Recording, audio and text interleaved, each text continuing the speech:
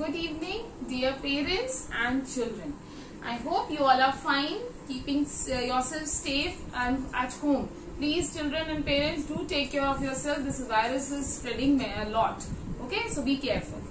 Now, dear parents and children this video आज का ये वीडियो स्पेशली मैं पेरेंट्स के लिए बना रही हूँ। मुझे पता है आप लोगों को बहुत सारे डाउट्स हैं, बहुत सारे क्वेश्चंस हैं कि चीज़ें कैसे होंगी, आप लोग बहुत परेशान हैं। प्लीज़ बिल्कुल परेशान होने की ज़रूरत नहीं है।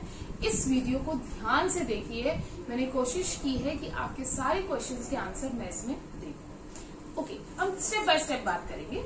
सबसे पहली चीज़ पेरेंट्स आ, इस वीडियो से पहले आपके पास तीन मैसेजेस आए हैं। आप लोग सोच रहे होंगे इन कोड्स का हमें करना क्या है। सेक्शन वाइज कोड्स आए हैं। थर्ड ए के पाँच कोड थर्ड बी के पाँच कोड थर्ड सी के पाँच कोड आपका बच्चा जिस सेक्शन में है उस सेक्शन के सारे कोड्स यूज़ करके आप पाँचों क्लासरूम्स ज्वाइन कर लीजिए। सबसे पहला काम आप लोगों को ये करना है ठीक है? आपने क्लासरूम ज्वाइन कर लिया आपका काम यहाँ खत्म हो दूसरी चीज़ मंडे को आपका फ़र्स्ट रिवीजन टेस्ट है। प्लीज़ आप हाफ़ ईयरली की टेंशन अभी मत लीजिए। आप सिर्फ़ रिवीजन टेस्ट पे फोकस कीजिए। हमारे बच्चों का रिवीजन टेस्ट बहुत अच्छा होना चाहिए। इसकी ज़िम्मेदारी हमारी भी है टीचर्स की भी और आपकी भी। अगर हम लोग मिलकर इस चीज़ को वर्कआउट करेंगे तो बच्चों का कुछ भी नुकसान नहीं होगा, जो कि हमारा मेन मोटिव है। ठीक है? मंडे को ट्वेंटी को आपको हिंदी का एग्ज़ाम आई थिंक लैंग्वेज या लिटरेचर जो भी है। सुबह, इसका टाइमिंग है सुबह एट ओ क्लॉक से नाइन ओ क्लॉक आठ बजे से नौ बजे तक एक घंटे का ट्वेंटी मार्क्स का पेपर है। पूरा हाफ़ ईयरली का कोर्स जितना मैम ने पढ़ाया है, आपको पूरा प्रिपेयर करना है। ठीक है? सिलेबस वगैरह हम सब पहले ही दे चुके हैं। ओके अब पेरेंट्स आपकी ज़िम्मेदारी यहाँ पे सबसे ज़्यादा ये है, हम 740 पे, जिस भी टीचर का एग्ज़ाम है, वो अपने पर्टिकुलर क्लासरूम में 740 पे पेपर पोस्ट करते हैं। अब आपको करना ये है कि फटाफट से उस पेपर को ओपन करना है। पंद्रह मिनट में दूसरे पेज पे उस आपको देख के खुद वो पेपर क्वेश्चन पेपर से क्वेश्चन क्वेश्चन उतार लेने हैं। प्लीज़ बच्चों को मत दीजिएगा, बच्चे छोटे हैं, इतनी जल्दी नहीं देंगे तो प्लीज़ थोड़ा सा चाहे मम्मी या पापा या दीदी, जो भी आपके घर में हो, जो इस चीज़ को जितनी जल्दी कर सके, बीस मिनट में आप फटाफट से वो सारे क्वेश्चन कॉपी कर जैसे ही आप क्वेश्चन कॉपी करेंगे, आपके पास WhatsApp group seven fifty five पे एक लिंक आएगा गूगल मीट का। ठीक है जी पेरेंट्स उस लिंक को ज्वाइन करके पेपर उतारने के बाद आपको सीधे गूगल क्लासरूम वो लिंक क्लिक करके गूगल क्लासरूम में आना है। आपके बच्चे के पास आंसर शीट्स होनी चाहिए और वो क्वेश्चन पेपर जिसमें आपने सारे क्वेश्चंस लिखे। ठीक है? लिख लिया आपने और क्वेश्चन आपको दोनों चीज़ें आप बच्चे को दे देंगे। अपना कैमरा ऑन रखेंगे टीचर्स सब बच्चों को ऑब्ज़र्व करेंगी। इस चीज़ का ध्यान रखिएगा टीचर्स सब बच्चों को देख रही है। कोई बच्चा चीटिंग नहीं करेगा। टीचर से ज़्यादा वहाँ पे इन्विजिलेशन के लिए आप लोग हैं। पेरेंट्स आप लोग की भी ये रिस्पॉन्सिबिलिटी कि बच्चा और आंसर शीट्स होनी चाहिए, जिसमें बच्चा आंसर सॉल्व करेगा। पेंसिल इरेजर शार्पनर सब बच्चे के पास वहाँ पे होना चाहिए, ताकि एंड टाइम पे उस टाइम बच्चे को दौड़ना ना पड़े, हमें ये दे दो, वो दे दो। ये सब कुछ होना चाहिए। टीचर्स गूगल मीट से सब ऑब्ज़र्व करें। ठीक है? बच्चा अपना उसमें से देख के क्वेश्चन को सॉल्व कर लेगा। यहाँ तक आई होप चीज़ें आपको थोड़ी बहुत क्लियर अब मैं आपको ये बताना चाहूँगी कि आंसर शीट्स कैसी होनी चाहिए, क्योंकि सब बच्चों के पेपर्स एक जैसे होने चाहिए तो ही ज़्यादा चीज़ें बेटर लगेंगी।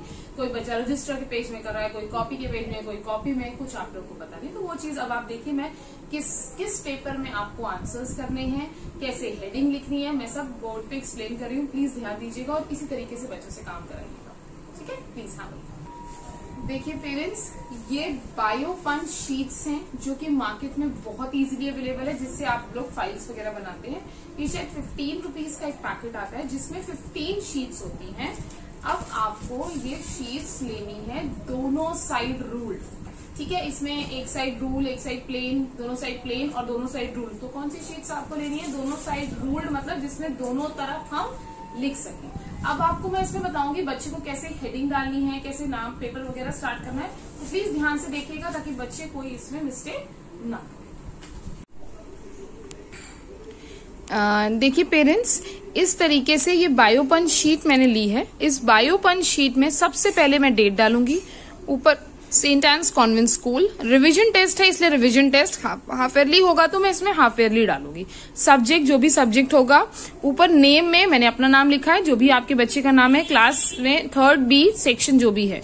टाइम में आप 60 मिनट्स या वन आवर कुछ भी दोनों में से कोई एक चीज़ लिख सकते हो। मैक्सिमम मार्क्स 20 इतना लिखने के बाद लाइन ड्रॉ करना बहुत इंपॉर्टेंट है। उसके बाद अब अपने आंसर सॉल्व करना शुरू कीजिए।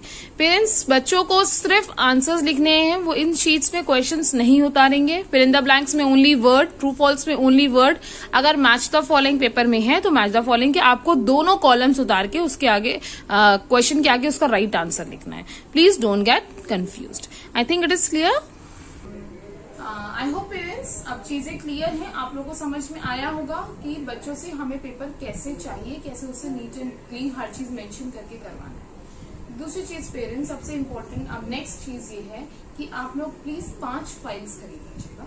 क्योंकि हमारे पास पाँच टीचर्स हैं। उनके तीन सब्जेक्ट्स मेरे पास, दो नुकुर मैम दो स्वप्ना मैम दो subject Smritika ma'am and one subject for Deepti ma'am so five files आप खरीद लीजिएगा। फाइल्स के ऊपर हेडिंग में आपको टीचर का नाम प्लस सब्जेक्ट आपको मेंशन करना है कि ये टीचर आपको क्या सब्जेक्ट पढ़ाती है। उस पर्टिकुलर फ़ाइल में उस पर्टिकुलर टीचर के सारे सब्जेक्ट के पेपर्स आप अटैच करके फ़ाइल बंद करके रख देंगे। पीडीएफ भेजने के बाद पेरेंट्स जब भी स्कूल खुलेंगे ये फाइल्स स्कूल में सबमिट होंगी। So please be careful don't take it lightly कि अरे कुछ भी कर दिया हो गया। सो so, पेपर सबके वायो पंच होने चाहिए। पाँच फाइल्स आप खरीद लेंगे। फ़ाइल के ऊपर बच्चे का नाम क्लास सेक्शन टीचर का नाम और नीचे दो या तीन जो भी सब्जेक्ट वो पर्टिकुलर टीचर पढ़ा रही है जिनके पेपर्स आपको फ़ाइल में ऐड करने ठीक है? अब सबसे पहले ये तो आ, बात का काम है। पहले आपके बच्चे ने पेपर सॉल्व कर दिया आप पेपर की फ़ोटो खींचेंगे पीडीएफ बनाएँगे पीडीएफ बना के गूगल क्लासरूम पे सबमिट करेंगे उसके बाद पेपर्स उठा के फ़ाइल में अटैच कर देंगे ठीक है? सब बच्चों का काम एक सा होगा। फिर जब भी स्कूल खुलेंगे या जब भी आपके पास इन्फॉर्मेशन आएगी हम ये फ़ाइल सबमिट करेंगे स्कूल। ठीक है? नाउ नेक्स्ट चीज़ आपके पास ये सारा पीडीएफ बना के सेंड करने के लिए सिर्फ़ 15 मिनट्स है। 15 मिनट्स के अंदर अंदर सबके सब बच्चों की पीडीएफ पहुँच जानी चाहिए टीचर के पास। 15 मिनट्स के बाद भी नेक्स्ट 15 मिनट तक पीडीएफ एक्सेप्ट होंगी। बट उस पर लेट लिख के आ जाएगा तो उसके अकॉर्डिंग मार्क्स का डिस्ट्रीब्यूशन होगा। वन मार्क्स टू मार्क्स जो भी हमें प्रिंसिपल से इंस्ट्रक्शन मिलेंगे, उस हिसाब से मार्क्स डिडक्ट हो सकते हैं। So please be careful little attentive थोड़ा सा आप इस चीज़ पे वर्कआउट करिए कि कैसे ताकि आप लोगों की किसी चीज़ की कोई प्रॉब्लम ना हो specially during the half yearly revision में भी please very strict take it as a half yearly only ताकि आपको जो भी प्रॉब्लम होगी इसमें, हम उसको सॉर्ट आउट करने की कोशिश करेंगे। आई होप मैंने काफ़ी चीज़ें क्लियर कर दी हैं। अगर इसके बाद भी आपको कोई डाउट है तो आप लोग प्लीज़ कांटेक्ट कर सकते हैं अपने अपने क्लास टीचर से, जो भी आपकी क्लास टीचर है एबीसी के हिसाब से आपको सारे क्वेश्चंस के answers thank you thank you parents. All the best to your parents also to the children also. Do your exams well okay? Thank you so much